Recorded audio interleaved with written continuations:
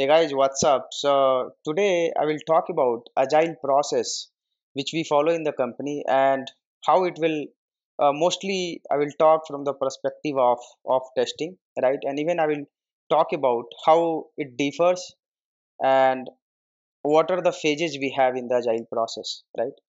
So when we talk about the agile process, I will not say this as a model. I will always say agile is a process. Why I say agile is a process? Because it's a certain rule and regulations which company they follow it and which can change company to company. There is no hard and fast rule that we need to stick with a certain process, right? Basically, you can say that it is a standard practice which is performed by the company based on their product development cycle and based on their release cycle right so let's say if uh, one company a which follows certain set of agile process may not be similar with the company b which follows certain set of agile process. Unlike what we had in the waterfall and a v and v model and a spiral model we have certain set which which every company used to follow it. So that's where you know there was the problem and you know every product will not fit into waterfall and v and v and spiral model. To overcome that we industry came together to a process called agile process. And this agile process you can adopt based on your requirement based on your product which you want to develop. Now in this agile process what happens is any feature development right any story point basically we divide into pieces. So let's say uh, if i have to give an example let's say you are working on the payment page of e-commerce site right? Now the payment module it's a big module. So what you will do under the payment module you will design a subtask. Like one person will work on credit card one person will work on net banking other persons will work on debit card other persons will work on the integration with different banks and some other developers will work on let's say uh, COD right? So this we divide into number of tasks now once this has been divided into the number of tasks what we do is we assign this task to the either development team or testing team. Depends on the company how they want to do that now the question comes how do we de decide the task and how do we decide the feature right? This is completely depends on the market like what market needs now for the product. Maybe some feature which is uh, uh, very important but still sometimes we do we actually we decide to design that and in the mid we decide that no we will not go ahead with the feature we will go ahead with some other feature which is required most as per the market right? So the agile process completely driven by the market plus also it depends on the what has more importance right? Rather than just designing a, a module to the applications. Now how do we decide a team and what is the team structure in the agile process? So usually in agile process there'll be a small small team okay there'll be uh, uh, i will say it's if five members six members teams again this will change company to company. There may be 10 members also. So usually one team will have a scrum master and developers and testers right? So the scrum master role is to make sure that whether agile process whatever we are planned to do that whether we are following the rules or not whether whatever the feature and the story which was divided among the developers and among the testers whether the deliverable is getting released on time or not right? That is the role of a scrum master. So the name itself says that scrum master right? And he will also drive your sprints. I will talk about the sprints. What does mean by sprint? I'll go one by one. So usually a scrum master role is to make sure that everybody should have the task should have the activity and everybody should finish the deadline right? So generally in agile process what i see uh, in maximum company they follow uh, a four cycle. When i say four cycle which means uh, there'll be uh, feature freeze 1 ff1 ff2 ff3 and cf right? Code freeze. So when we say ff1 feature freeze 1 ff2 feature freeze 2 cf code freeze ff3 feature freeze 3 and cf code freeze and then released uh, the feature to the market.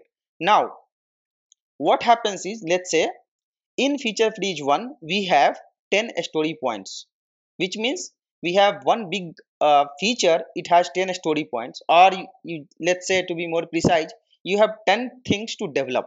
Now the 10 tasks will be divided among the teams right?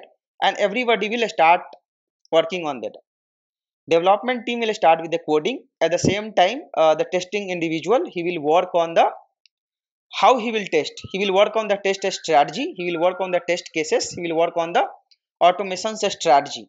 So what happens? Within generally any feature freeze will be for two weeks. A standard practice usually it can be one week also depends on the how many feature you want to design and you want to release to the market. So let's say you have a feature freeze cycle one for two weeks in the two weeks what happens? Developer will start with the coding and the moment one feature will get designed it will deliver to the quality team.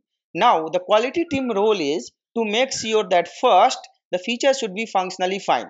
So let's say once the feature is functionally fine at the same time quality engineer has to design the automation test, test script or web service test, scripts or performance test, test scripts. This depends on the feature like what is the feature requirement so there are some features we cannot do performance. There are some features it requires only uh, web service automations or service automations. There are some features which requires only ui automations.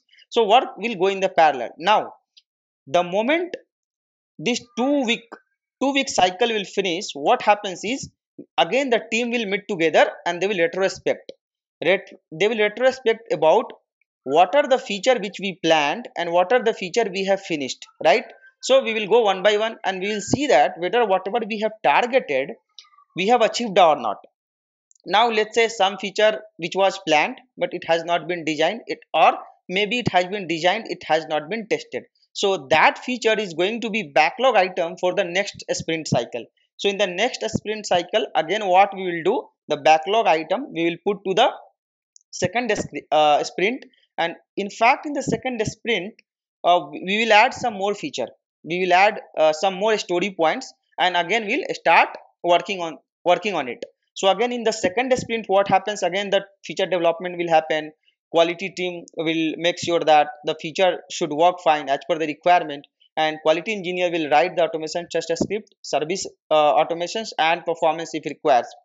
Now in ff3 feature freeze third again. If there is any backlog item from the feature uh, freeze 2 we uh, will take that backlog item and uh, we will place it into the third um, sprint right? So again in the third sprint we'll plan for some more story points we'll plan for some more features to the application and as well as the backlog items right?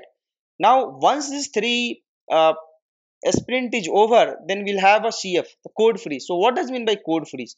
The code freeze is a cycle where we will we will not do any development no development only what we will make sure that whatever code we have designed in that those three sprints ff1 ff2 ff3 is working fine or not. Or i would say moreover we will perform a regression test.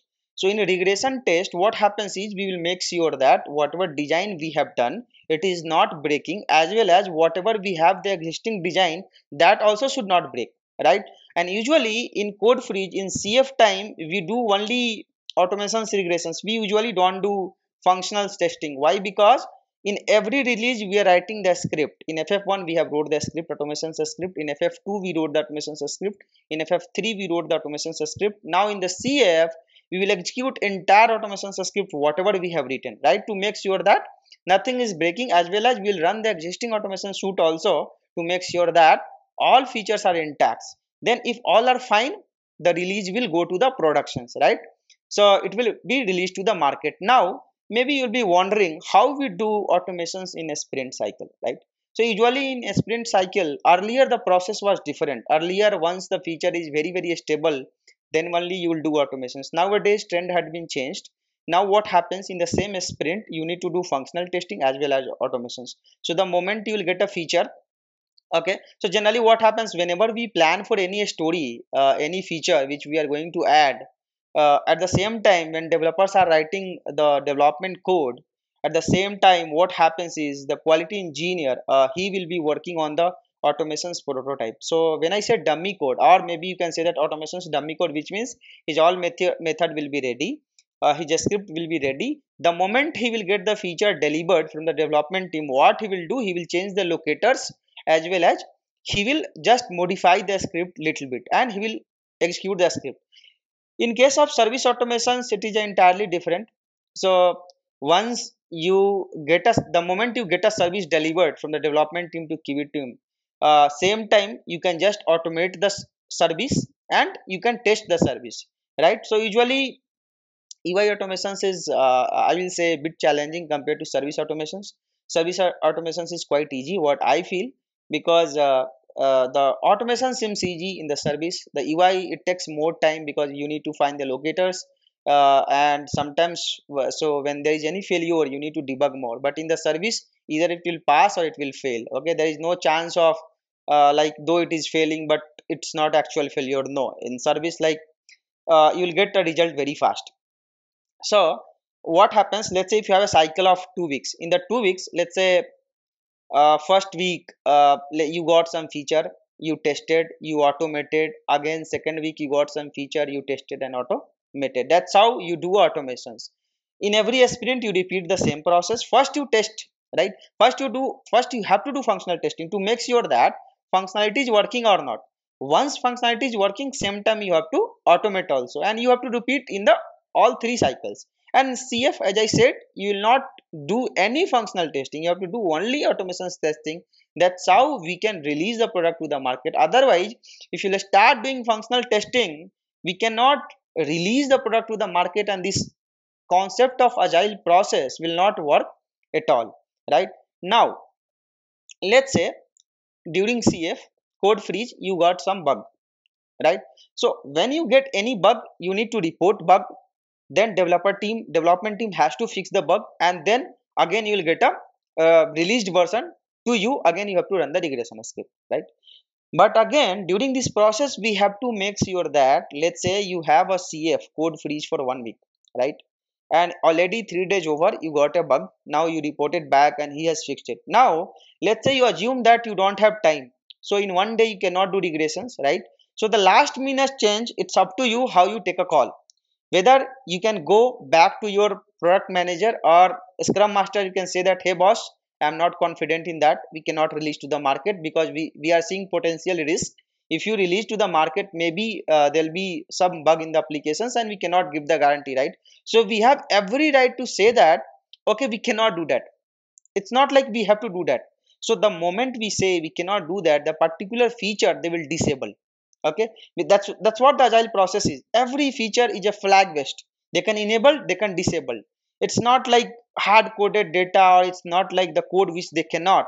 It's all are flag based either they can turn on the feature or turn off the feature. So sometimes it happens.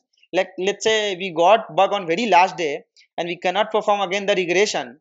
Then in that case we will go back to the development team and we'll say that we cannot do that and we need to disable the feature. So we do disable the feature. Again what we do in the ne next release we will take that feature or some company what they do is they will release. So whatever product is working they will release. Whatever feature is working they will release. And whatever we have disabled what they will do they will take some time okay?